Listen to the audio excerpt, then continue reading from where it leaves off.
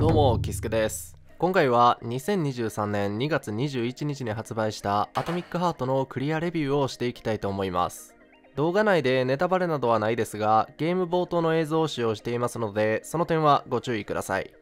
Steam 版をプレイしてクリア時間は20時間程度。細かな収集要素などはストーリーの流れに沿ってやった程度です。最初に本作の率直な感想なんですが面白かった。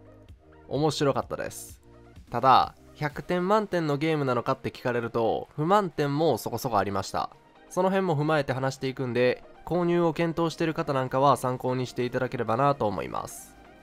まずは本作アトミックハートがどんなゲームなのかっていうのを簡単に解説していきます。キプロスのマンドフィッシュが開発。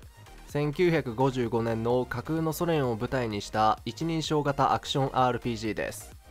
プレイヤーは主人公 P3 を操作し試作型のパワーグローブを使って様々なスキルを駆使したり近接武器や銃を使ってロボットと戦っていく作品になります。人に忠実で仕事熱心なロボットたちが突然の暴走。その暴走の裏に隠された謎を限りある資源を有効活用しながら突き止めていくことになります。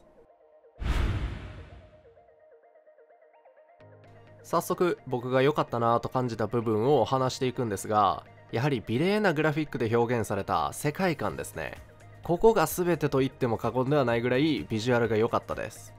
1950年代が舞台の割にはロボット技術などが異様に発達した世界や主人公に無表情で襲いかかってくるロボットのデザイン。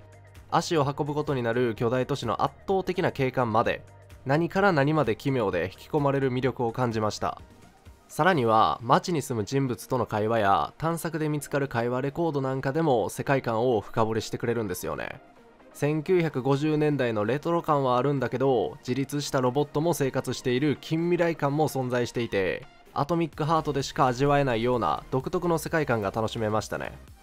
もう一つ世界観とつながった話をさせてもらうと主人公が装備しているパワーグローブが喋るんですよね。ストーリーに関することや何気ない会話主人公との口喧嘩までたくさん話してくれるんですけどそのおかげか本来地味になりがちな探索要素が賑やかになっていて退屈しないのも良かったです。次に歯ごたえのある戦闘や様々なスキルが個人的に刺さりました。イージー、ノーマル、ハードのように本作も3段階に難易度が分かれていて僕はノーマルで遊ばしてもらったんですけどそれでも難しかったです。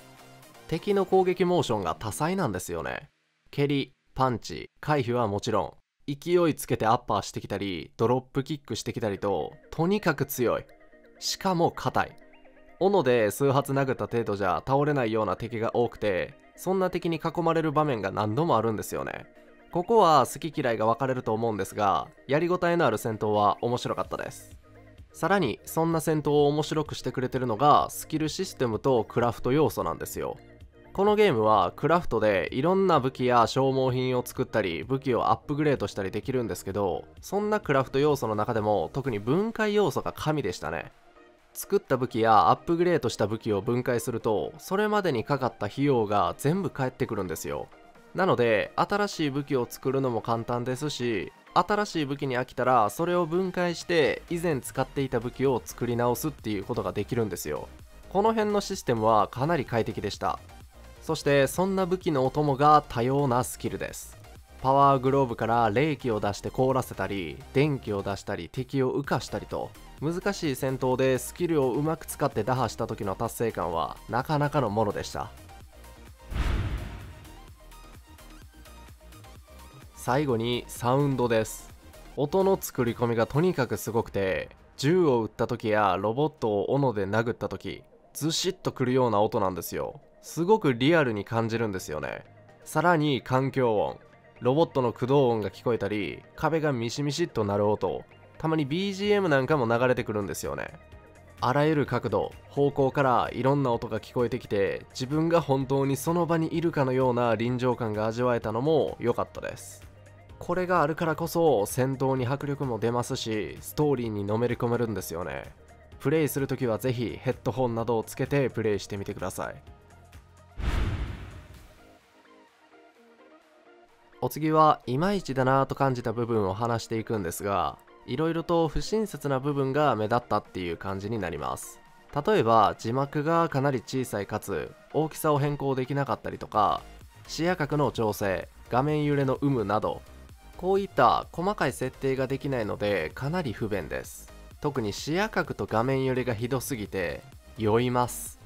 僕は画面酔いにそこそこなりやすくて三半期間が弱々なので2時間ほどぶっ通しでプレイするとうーん気持ち悪いってなります。もちろん画面酔いしない方がプレイするにしても自分に合った設定で遊べないのは不便に感じることだと思います。次に謎解きが個人的にはいまいちでしたね。本作はいろんな研究所に出向いて情報集めかなんかをしていくんですけど行く先々に似たような謎解きが用意されてるんですよね。バリエーションが少ないんですよ。そのくせに時間がかかるものだったり分かりづらいものだったりと苦痛でしたね。しかも初めてやる謎解きにヒントや救済措置がないんですよね。謎解きが苦手な方がプレイするとそこで積んでしまうなんてこともあると思います。他にも細かい点で言うとファストトラベルができないとか日本語翻訳が不完全であったりとか好きな時にメニュー画面からセーブができないとかいろいろはあるんですけどどれも前日よりかは気にならないです。総評するといまいちな点や不便な点はあるものの1950年代の科学技術が発達した架空のソ連という魅力あふれる世界観を体験してみたい方にはおすすめできる歯応えのある作品だと思います。いまいちな点で話した細かい設定ができないっていう点も今後のアップデートで改善されていくと思います。アップデートが入って快適に遊べるようになってから購入するのもいいかもしれません。ちなみに現在 PC 版と XBOX 版が発売されていて PS4、PS5 版は4月13日に発売だそうです。さらに同日に日本語吹き替えの対応が決まってるそうなんですよね。その頃にはアップデートや調整でより良い作品になってるでしょうし日本語で遊べるのもかなり魅力的だと思います。このチャンネルでは新作ゲームの情報やレビューおすすめゲームの紹介をしてます。ぜひチャンネル登録や高評価お願いします。今回の動画に関するご意見や感想などどんどんコメント欄に書いていただけると嬉しいです。それではまた次回の動画でお会いしましょう。バイバイ。